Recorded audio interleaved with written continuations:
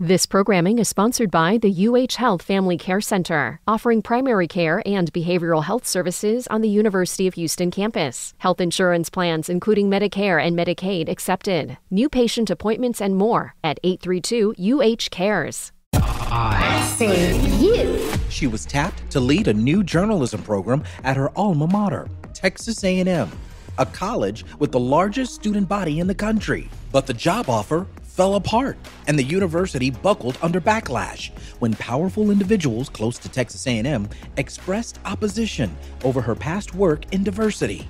Black journalists wouldn't be sent to Africa because how can they be objective? There have been women who've not been allowed to cover women's rights. Well, because they're women, they can't be objective. No one would question a white reporter covering Timothy McVeigh or anything. I'm Eddie Robinson, and stay tuned for a candid conversation with journalism professor Kathleen McElroy. As a new state law banning diversity measures goes into effect at public universities, what does this mean for journalists of color in tomorrow's newsrooms? Oh, yeah, I feel you. We hear you. I see you.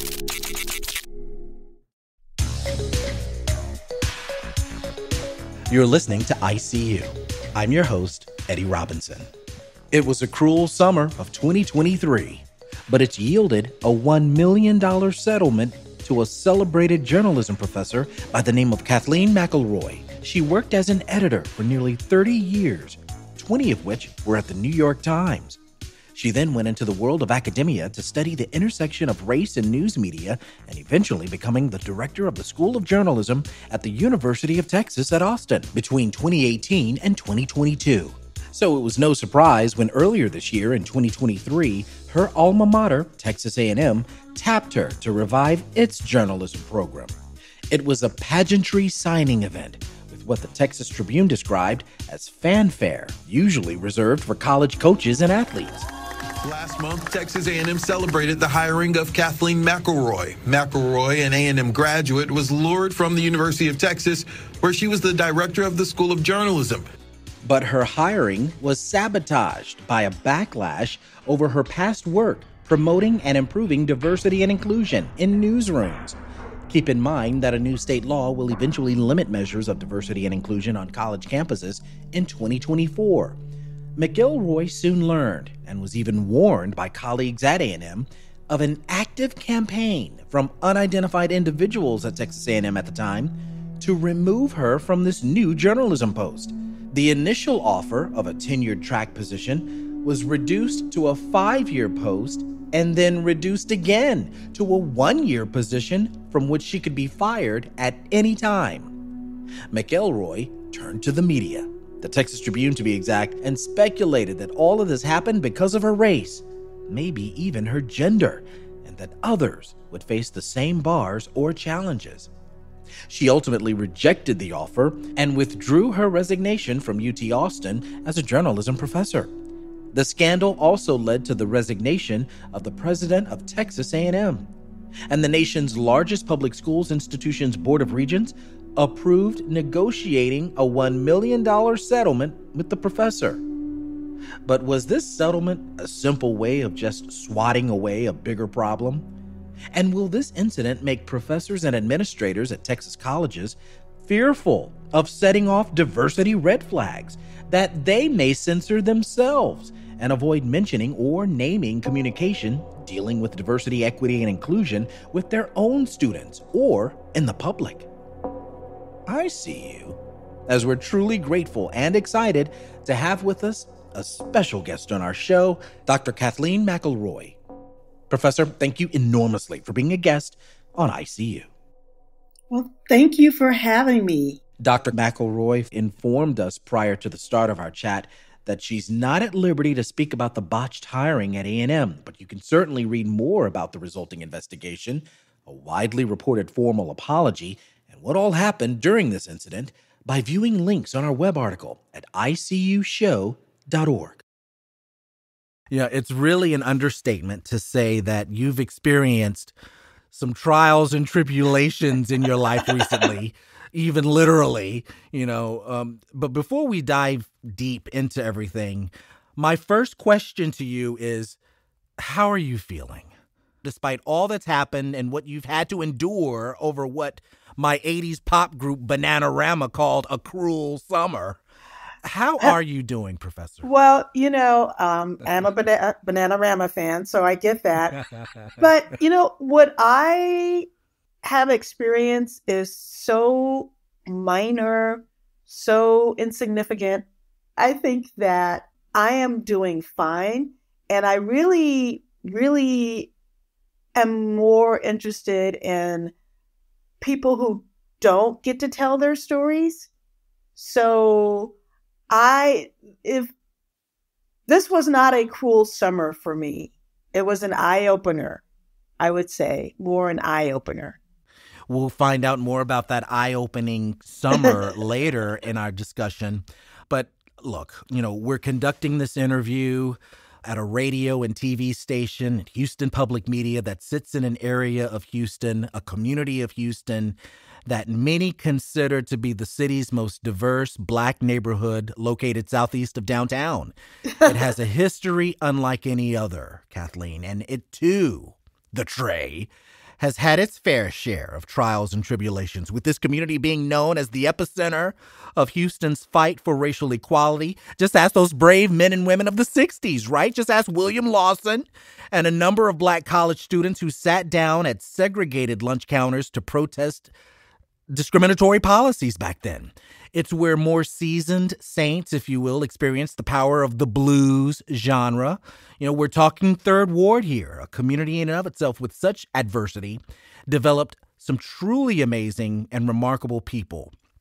For instance, Pat Parker, Garnet Coleman, Beyonce, Solange, powerhouse blues performers, Sam Lightning Hopkins, Arnett Cobb, Albert Collins. The list goes on. And we cannot omit from this list Dr. Kathleen McElroy. Oh no, I mean, the person you can't omit is my father. Your father. I was gonna say that. I was gonna say that. the contributions your family has made, the contributions your father has made, truly outstanding. So describe for us your childhood. That's what I'm getting at here. What was it like growing up in the Trey, Third Ward, Texas? Go. Well, it's interesting because I was just looking at passages in the book, His Name is George Floyd, because they talk about parts of Third Ward and that. And in fact, the Cuney homes, where my parents and all their friends first raised their families in the Cuney homes. And like their friends ended up getting a, you know, a starter home and then another home. So when I read about how Third Ward in the 70s was this decaying thing, it's like, oh, I, I didn't know we were decaying. You know, the it's almost like when pe- people talk about how they, I didn't realize, quote unquote, how poor I was. Or we weren't poor, not by any means. We were decidedly middle class.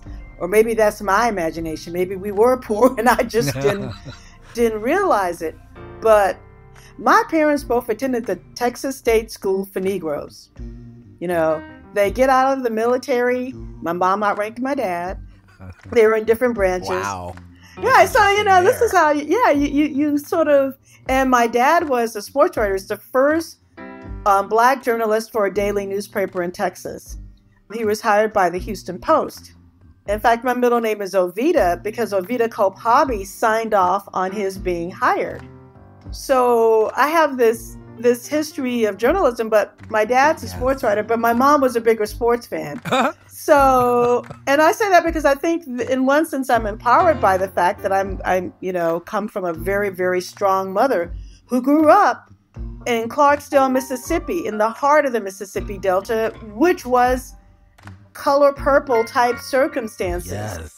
So yes. anything that I Mississippi in here, yeah. yeah, I you know I cannot complain. I can only praise them for what I got as a child. But to me, Third Ward was hearing the Texas Southern Band practice at night because we grew up around the corner from Texas Southern, and Archie Bell and the Drells was from Fifth Ward, not from Third Ward, I think, okay. um, doing Tighten Up so I'm tighten like, up. tighten up. I'm like, you know, five or six or something. And hi, everybody. I'm Archie Bell and the Drells of Houston, Texas. And we not only sing, but we dance just as good as we want. Hi everybody. I'm Archie Bell of the Drells of Houston, Texas. We don't only sing, but we dance just as good as we want. In Houston, we just started a new dance called the Tighten Up. And in Houston, so like to have the word Houston out like that, okay? And I didn't even realize it was a national hit. I just knew this is a song about Houston. And then, you know, less than a year later, the first word said on the moon is Houston. Listen, uh, Tranquility Base here. The Eagle has landed. So I um, first went to black Catholic school. So growing up, I thought everybody in Third Ward was black and Catholic. And then I end up going to uh, public school. Then what, you mean black people? All black people aren't Catholic? What? and then you find out they're they're white people and they're brown people and that's a, so my thing is that third ward was this entity in and of itself and didn't grow up in the richest neighborhoods that would have been mcgregor but what's interesting to me is when you're real estate fantasy and when you're young you don't call it a real estate fantasy but when your dream of living large is within your same neighborhood how empowering is that? You don't dream of moving out to the suburbs if I even understood what the suburbs were. That I knew that there was poverty in my neighborhood and I knew there was wealth in my neighborhood. So I think that is part of how Third Ward can produce this array. Police officer was charged with murder and manslaughter in the death of George Floyd. You know, the Third Ward that produced George Floyd is authentic as the Third Ward that produced Beyonce. And Zina Garrison. From the moment she discovered tennis as a 10 year old in Houston, Zina Garrison was a force to be reckoned with. So I'm I'm fascinated by this incredibly, in the true sense of the word, diverse neighborhood. Not racially diverse, in fact segregated, but a diversity of income, of you know, culture. When I was growing up, you know, the black tennis players that I knew on the pro tour, Zina Garrison and Lori McNeil, they were from Houston. So, and it wasn't about the football players and stuff. So I think that's just, I'm kind of fascinated how Third Ward helped shape me and empower me. And I'm wondering too, like, the extraordinary journalist that you've become now, you know, how has Houston and Third Ward played a role on that note? In terms of shaping who you are right now as an individual? Well, because my dad was a journalist and he ran The Informer, um, a black newspaper in Houston. Um, I watched the news constantly. I read sports. I was okay. really into sports. I was ridiculously into sports. It was, I'm embarrassed now about the things I should have known about the world, but instead focused in on sports. And by the way, my yeah. dad sued the University of Texas to attend its journalism school. And he was denied by the courts because they said the Texas State School for Negroes had an equal journalism program. And I've actually seen um, the letters. Uh, uh, Tony Peterson, who did remarkable work for the Chronicle, I believe, has just written a piece about him. And he found uh, one of the letters in which Painter, as in, you know, Sweatt versus Painter, called my dad a radical Negro, which, if you knew my dad, and he was, you know, active in trying in, you know, in the 60s and the 50s and Houston's integration effort. And another thing that shaped me is my parents and their friends love going to the Astrodome. They love going to the Astrodome. Now the Astros were terrible then. And but it didn't matter. And I look back on it now and I think it was because Roy Hofheinz had promised the Negroes of Houston that even if the civil rights lost and passed that they would always be equal in the Astrodome. So I now see my parents happily giving the white um, person parking their cars or the attendant a dollar, and that person calling them yes, ma'am, and yes, sir. it wasn't about winning or losing. You know, it wasn't about the Astros on field performance. They were able to be in a space in which they were equal. They were just Astro fans. And I now see how profound that must have been, given their backgrounds, to be in this space and to be called sir and ma'am and to be led to your seat.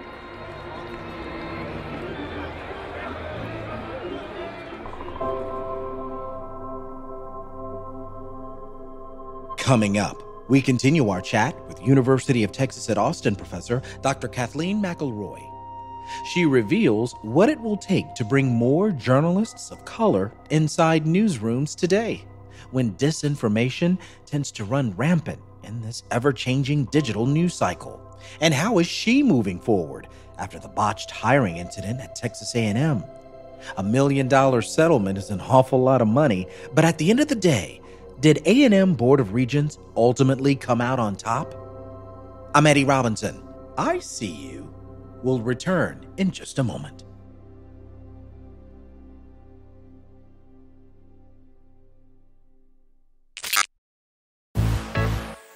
If you're enjoying this program, be sure to subscribe to our podcast, I See You with Eddie Robinson. You can hear all the past episodes and be notified when new episodes are released. Also, please take a minute to give us a review or comment. We love getting feedback from our listeners.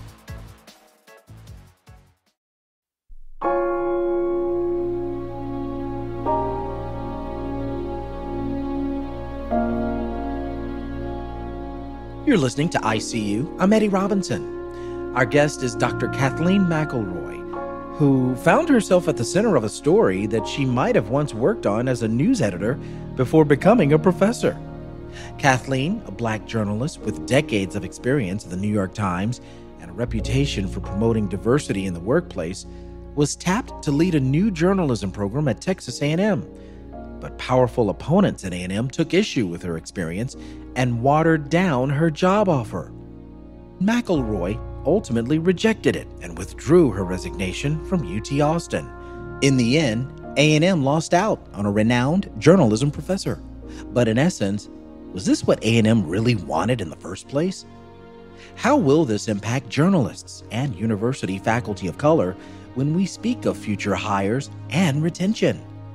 Current students at public colleges are already concerned that a new state law in 2024, which bans DEI measures, will eventually impact certain activities, programs, and speech initiatives on campuses across Texas. We continue our chat with Professor McElroy, who's calling us virtually from Austin, Texas. Kathleen, I imagine you likely would have wrestled with how to talk about race in a hyper politicized moment. And despite what happened at Texas A&M, in many ways you can't quite help but think about your father, George McElroy, who was denied the opportunity to enroll at UT Austin because state officials at the time said, you know what, you can take journalism classes, but you'll need to uh, enroll at Texas State University for Negroes, which is now Texas Southern. This was despite the landmark U.S. Supreme Court decision that you mentioned earlier, Sweatt versus Painter. Mr. Mac, from what I know, that was his nickname, so to speak, right? Uh, that was his nickname. Become, he went on to become the first black reporter for the Houston Post. He taught at Yates High School, right here in the Third Ward, led the journalism department at TSU for many, many years. He was also the first black to get a master's degree from the University of Missouri's famed journalism school. That's right. That's right. Amazing life, your father. What? Broke barriers, many barriers. And you, Kathleen, became director of the journalism department at UT Austin 60 years after he was denied enrollment. God, yes. Where's where's Prime Video? where's Hulu? you know, there must be a series of your life, the legacy of, of your family, everything. And and it it does I see the passion that you have with regards to journalism. And my question to you here is why aren't we seeing very many black journalism students enter this arena? Are college newsrooms seeing many journalists of color these days? What do you think? Oh, now for a white journalism student, a lot of times their parents don't want them to go into journalism because there's not a lot of money in it or they see the jobs. And I think that's the same thing for students of color. White students have an extra burden that many in their family may be hostile to journalism. That we had a student say that her mom told her friends that her daughter was majoring in lying. And think about think about that level of rejection, but still wanting to be committed to journalism. I bring this all up because many students who would like to major in journalism are majoring in STEM because their parents are saying you need to be doing you know it's engineering it's science it's it's that and journalism is low on the list but at least because of broadcast journalism our communities are exposed to journalists of color on air I'm also a part of something called the Center for Ethical Leadership in Newsrooms. And what we find is that BIPOC journalists and women enter newsrooms at around the same rate. But as you move up in the ranks, as you look at leadership, it shrinks to practically nothing, to less than 5%. Imagine being a student wanting a Black or Latino, Latina student, a gay student wanting to work at places like the Daily Texan or the Battalion, which are much more welcoming now, but that can be intimidating. Do you see people who look like you in leadership positions? And I say now both campuses are putting young, dynamic students of color in leadership positions. But for the longest, you didn't see that. So I think that's one thing. I also think a lot of journalism programs to this day focus on text or what used to be called print to begin with, where it's harder to sort of unearth people who look like you or things like that. And I worked at the Times for 20 years and I had bylines mostly in sports and some other stuff, but you wouldn't know me. I, you know, students wouldn't know who I am because they really, really wouldn't see my byline, even though I was helping pick which stories went on the front page of the Sunday and Monday editions of the New York Times.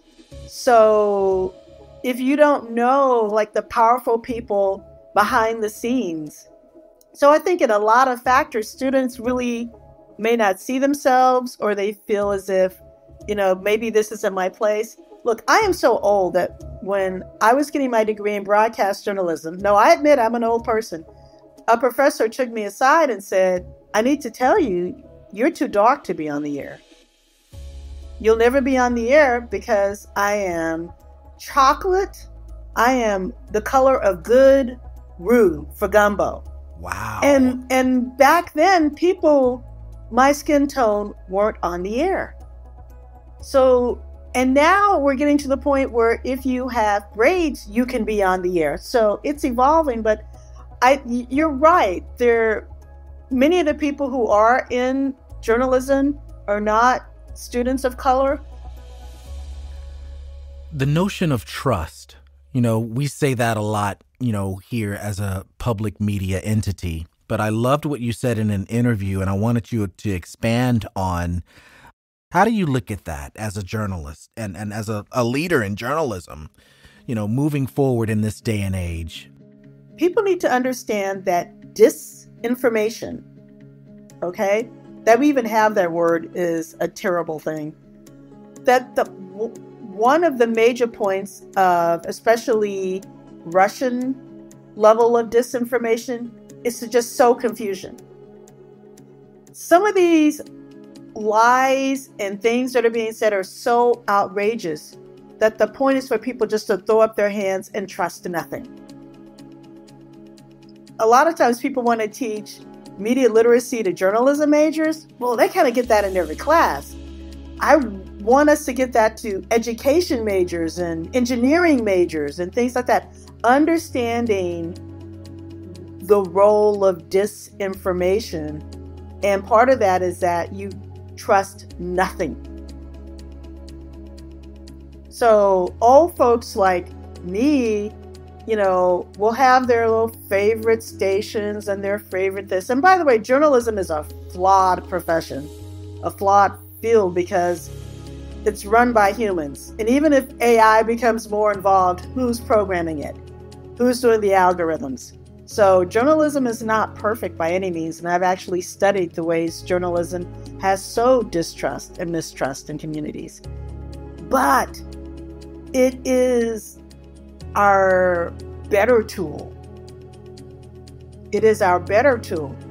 But that's what's so hard is that people there are forces out there that want people to trust nothing. I'm Eddie Robinson, and this is ICU. And we're speaking with journalism professor Kathleen McElroy. And Kathleen, what you said just a moment ago about artificial intelligence, AI, makes me think a lot about the evolution of journalism, right? And I think about your father and the world he lived in of covering the civil rights movement in the 1950s and 60s. And while we are in a different world now, a lot of that struggle from back in the day is still going on. You know, look at how race and gender are affecting your career. You know, I wonder how your father, if we could channel him, what he would be saying. You know, like, I see you. I see what's happening here. Yeah, I have a voice. I want to change. I want to be a part of telling stories of my community. But what he would be saying would more than likely be on TikTok or some other platform that only gives you 30 seconds. but I, I don't consider TikTok evil or okay. one of those things. In fact, you know, there's some really good TikTok, news related TikTok. The Washington Post, for the longest, has been, has, well, for the longest, how long has it been around? Um, but your point is that there is this world of information, but it's not necessarily um, evidence based. Right. And I'm and, curious as to if professional journalists, you know, can make a career out of this. Yo, absolutely. Well, maybe not in TikTok, but we don't know what that next thing is. So, one of the beautiful things about teaching 19 year olds is that you're not so much teaching them a particular device or a hmm. particular medium, you're teaching them how to produce evidence based information worth sharing on whatever that next thing is. And I think it's especially important for journalists of color and journalists from underrepresented groups to be at the table when they're building that next thing. Because a lot of journalism has been reacting to it. Now, at my dad's age, you know, the black press played a very important role in, you know, deciphering the message. And we still have a robust uh, black press. But it's not, it doesn't hit as much of all of the black community as it did before.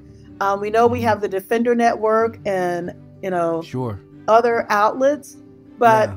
part of the reason why there was a black press, a Latino press, an ethnic press is because the mainstream press, quote unquote, was that default was white patriarchal cis type news, right? It was, and to this day, it's still that way. And to be to be perfectly clear, journalism is best when everybody is understanding how you have a fully dimensional news report. So it's not just built on, you know, bodies, like on our bodies. So, but for the longest, it's been our bodies that have been trying to get the message out. And, and in for my dad, that was extraordinarily important, you know. And but you know what? He wasn't given that many options. He didn't get nearly the number of hmm. options and opportunities that I did. Um, yeah, sure. So I know I've gone a little bit far afield here, and there are, um, you know, outstanding journalists from underrepresented groups. It seems like it's fewer than at the beginning of this century or at the end of last century. And that's what's heartbreaking. Um, and it's not heartbreaking because our story isn't being told, it's just heartbreaking because professions are more robust when they are fully dimensional. Well, in March of 2022, you gave a lecture for the National Press Foundation where you talked about objectivity. Ah, yes. And and I'm wondering less than a year later, here in 2023, do you believe your blackness weaponized against you? I'm not going to talk about me specifically. Okay. As I said then, and I've written in other instances, the whole issue with objectivity is that it was never objective. It was a strategy. In fact, objectivity as a whole was a business strategy of newspapers at one point to be more profitable than partisan press. So it's always been a strategy. In the way that objectivity is often used in newsrooms, for instance, is that, and uh, Pamela Newkirk uh, wrote an amazing book about this. I think it's called Within the Veil. I might have gotten the name wrong. But Pamela Newkirk, uh, I think she produced this book in 1998. And she talked about how black journalists were not allowed to cover the O.J. Simpson trial because they wouldn't be objective. And for the longest, black journalists wouldn't be sent to Africa because how could they be objective about that? There have been women who've not been allowed to cover women's rights. Well, because they're women, they can't be objective. No one would question a white reporter covering Timothy McVeigh or anything, right? So I think that's the way that I talk about this in terms of newsrooms, in that there is a sense that by having an identity marker, people will focus in on that without maybe seeing how your authority and your expertise in that area adds so much. So when I talk to students, I talk about how can you be fully dimensional? How can you be accurate? Like, how can you approach truth? All right. So facts are meaningless. Individual facts are meaningless. If a red car hits a blue car in the street and you come away from that that the red car hit the blue car, that's not what's important. But those are facts. So what's interesting in terms of the term objectivity and why many of us in journalism are moving away from it is because people never really were. And that maybe there's another term, but we've yet to come up with it. It isn't being fair because I, you know, I'm going to be fair. I am not going to take points off, you know, Brittany's paper because I know that she struggled on her job this week. Well, that's not fair to the other students. So once you bring in the concept of fairness, that's not the right term. And of course, so much of journalism unfortunately has become he said, she said, which is stenography, you know? So so it's like getting don't use objectivity as a crutch. So I'm going to talk to five people and try to get a diversity of voices and some voices aren't legitimate. There are people who legitimately think that the vaccine was not good for them. That's fine. But then there are people who were just pure anti vaxxers or people who are white supremacists who maybe don't belong in a report. And this is what we saw with climate change people felt as if, well, I should get someone who's anti climate change in this piece so it can seem balanced. Well, that's not understanding how statistics work. And the scientists didn't know how to talk to journalists, and the journalists didn't understand what the scientists were saying. And yeah, it's 107 degrees outside. so uh, that's a long way to say that objectivity has been this like tool and maybe we need to figure out what that thing is that does approach a fully dimensional um, look at truth. Coming up, we wrap up our conversation with University of Texas at Austin professor Dr. Kathleen McElroy. We start to dive deeper into understanding the notions of objectivity and what it means to be biased. In storytelling as a journalist, who gets to be a narrator now? Can it be a person who's conservative or liberal? Does race or ethnicity of the narrator matter? Let's hear from you. Give us your perspectives, share your thoughts, and send us an email. Talk at iseeushow.org. I'm Eddie Robinson. Don't move. Our final segment of I SEE U comes your way right after this.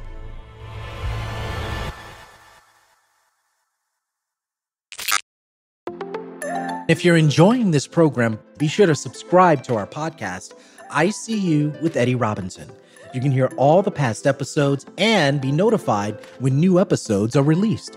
Also, please take a minute to give us a review or comment. We love getting feedback from our listeners.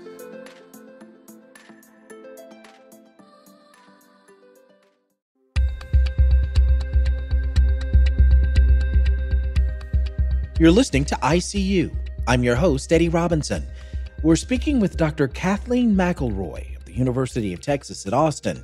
In many ways, we've been workshopping what her journalism class might look like after her experiences this summer. Are we still having the conversation, the reckoning on race we thought America had finally confronted in 2020? Or has the reckoning expired, so to speak? We don't need measures of inclusion or diversity anymore. Some folks, including state officials, think that's exactly the case. Dr. McElroy is calling us virtually from Austin, Texas. On the year 2020, mm-hmm. the death of George Floyd being witnessed on video, mm-hmm. there indeed was this awakening, right? There was mm-hmm. a reckoning, if reckoning. you will, where Americans sort of became divided on whether an increased focus on race would ultimately lead to major policy change. People were divided with that. I found myself torn because, as a news anchor at the time here at Houston Public Media, notions of being stopped by police. You know, I had these experiences under my belt by I was being pulled over when I was in 11th grade in, in high school in Mississippi. But I've also had experiences, you know, in New York City. I lived there for 20 years almost and I got an NYU master's in media ecology in 2000. I almost majored in that. Yeah, it was amazing. I loved it, but it really sort of threw me off because it unveiled the curtain. It pulled yes. the curtain wide open. Yes. And it shocked me. And I almost wanted to say, forget journalism because it really destroyed my mental state of what journalism really was. And I started taking courses like manufacturing news. Uh, I took that the course. uses and effects of political propaganda in the USSR. And oh, I, you know, I can relate to so many things you're talking about. So I, I did end up getting a degree in journalism research from NYU. Um, I got it from the Gallatin School of Individualized Study, and I studied race awesome. and media because I didn't know okay, about the media okay. ecology degree till after the um, later. Steinhardt School of Education. Um, yeah, that's see? exactly where it was. Yeah. So I think I'm going to disagree with you on one thing. You said that. Yes. George Floyd in 2020, uh, America was divided by race. America has always been divided by race. You're right. That's that's a perfect point. You're it right. May, it may not admit it, but your other point, the thing that you're saying that's so insightful, is, and I've studied this. I did a case study. What journalists of color their reaction to everything with 2020 with George Floyd because all of a sudden, black journalists and Latino journalists are getting arrested by the cops in these mm-hmm. covering protests, right? Why, why am I under arrest, sir? A news reporter is arrested live on the air. Omar Jimenez, a CNN correspondent, was on the streets of Minneapolis covering the protest and fires surrounding the death of George Floyd. And there was like, wait a second, just because I look like this, I'm being that's right. Fill in the blank, and things that were happening in newsrooms. There were major shifts in newsrooms all over America because journalists realized we can't just be on the sidelines. We see this affecting ourselves, our children, our families. So at that point, you see how being quote unquote objective which would be just, I'm going to report this, but I'm not going to put in how this affects me. Well, how this is affecting you is a legitimate news angle. And it took newsrooms a while to figure out how to sort of balance. And I think there's still a question. I think so too. in 2020, it just it, it it threw me off because I was trying to figure out why was I not necessarily afraid of reporting anything? No. You know, I even co-hosted the funeral um, of George Floyd with mm-hmm. a colleague of mine. Right. But it was as if I almost wanted to just scream as I'm reporting because of of wanting to just kind of, you know, go there, but you can't because you're trying to remain unbiased and you're trying to you're you're making sure that you're balanced and having a balanced reporting and taking care of, of yourself mentally going on. But I would have to do that when I turn the mic off. Well, you know, I would have to do that if I'm walking out, you know, and going to my car and to just be relaxed. And I think that's that's one of the difficult things is that, you know, if someone goes on air and say America grieves the so and so and there can be this default I'm speaking for the world, the royal we, you know. And I think what's tough is that for journalists from underrepresented groups, we yes. want to surface the stories of people like us, but not always the pathological, you know, thing. Want to say this hurts. It's trying to figure out how to say this hurts.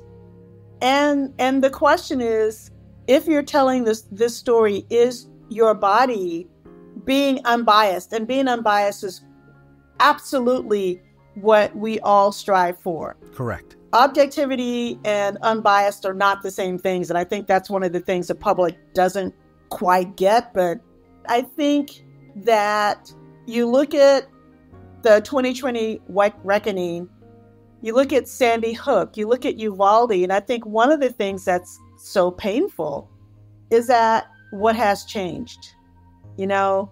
But we have to keep doing this. And I want to make sure that my students are inspired. There you go. To do this and that they can feel confident in their training and their ethics that I am telling this story the best way it can be told. It doesn't matter what I look like, what my background is, but I am going to take a 360 look at anything I'm doing. I'm going to try to get the voices that can help fully tell a story. If you're doing a, a story on sunburns, you should get a dermatologist who is a person of color. You know, like really understanding so you can add that element that makes your story better than the typical story. I remember once I was teaching this class and the students were, they had to talk, describe their roommates.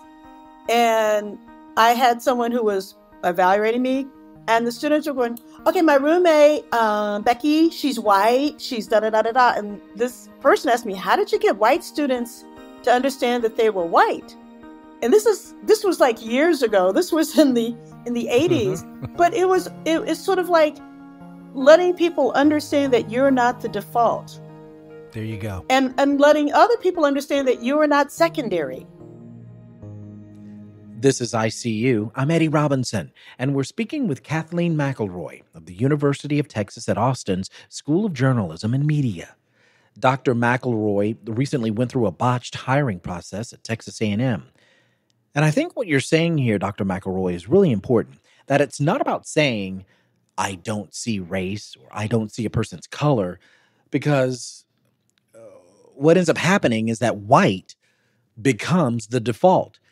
And that alone maintains white privilege, right? I mean, the reality is that people of color are reminded of this every day with microaggressions and even blatant discrimination. So, in many ways, we should directly address race. We should be addressing it unapologetically. You know, what are you seeing and hearing from your students? Are they, you know, going to practice journalism in a totally different way than, say, we thought possible?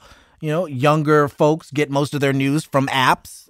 I get my news from apps. And they just happened to be they just happen to be more like, you know, the Wall Street Journal and the New York Times. There you go. And the Houston Chronicle. It's not Facebook. um nah. But yeah, I mean, how does how does that affect the way you teach journalism to the well, next generation? You know, journalism at its core is the gathering and sharing of evidence-based relevant, significant information for a good reason. Now, that good reason could be a recipe, or it could be to understand that you're living on a floodplain. Okay? So, how you communicate that message may change with the medium, but there are some basics in journalism. You know, I've seen students write an amazing story and maybe all the commas aren't all in the right space. That's okay. We can figure that part out. But how are you gathering the information? How are you sharing it? And how are you understanding the big picture of it? So I think the fundamental things that we're teaching them can go to any medium or, you know, we teach, I don't teach data journalism, but we're teaching our students data journalism, how to build apps, how to create news in different, you know, ways that we didn't really think about. Because it'll be something different in three or four years. What's important is you've taught them how to learn something.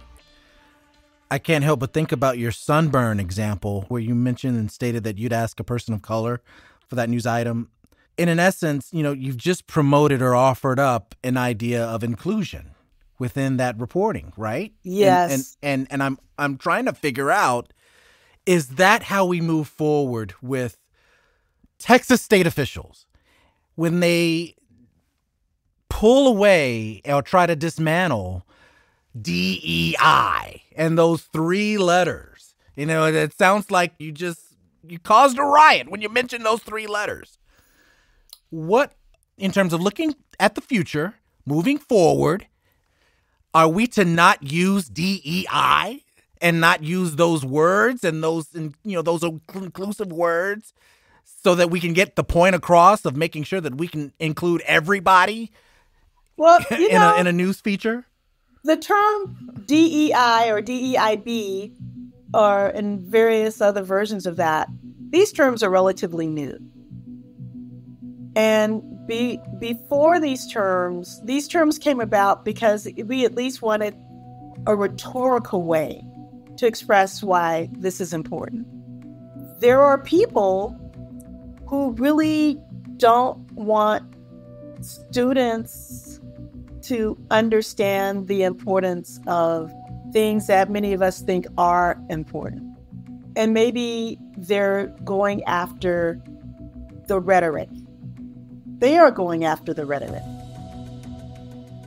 Many of us still believe in the actual action behind whatever term it is. And so you're not going to put public money into that, then we'll figure out something else. I'm here because of the things that my father and my mother did in their generation. And I am not going to abandon the next generation just because a term is now banned or unpopular. Maybe we call it cheeseburger.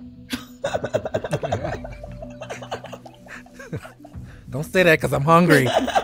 But yeah, I mean, clearly, I see what you're saying. clearly, I'm joking, but you know, I the work continues and it will continue to remain work, which gets at the heart of my last and final question that we always ask our guests of all the accomplishments of what you've had to endure, especially over the course of the summer of 2023 with your case being settled.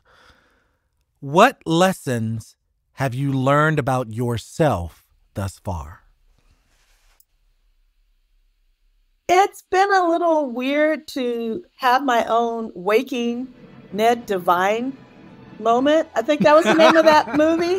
Here's the sixth number 29, 29. Yes. And finally, our bonus yes. number Yes. Yes. Where I you, love that movie. Where, it was phenomenal. Where you hear all these I loved it. wonderful things being said about me that that there are people who support me, but I've also learned are things that we don't know about the world.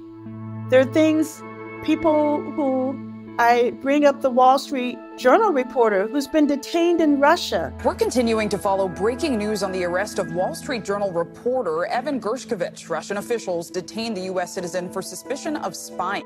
Our energy needs to go to his case. So, what I've learned is that I may think that I'm in a fishbowl or I've been in one, but I really haven't. That this is a world we live in.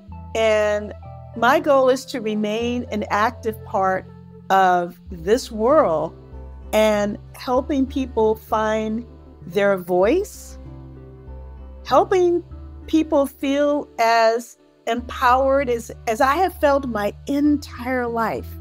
And that's why Third Ward is important to me because this sense of empowerment. And I also realized that I am privileged to have had the background and the connections I have. Thank you.